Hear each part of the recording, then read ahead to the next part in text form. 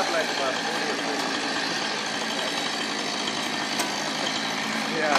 40 or 50. Yeah, definitely.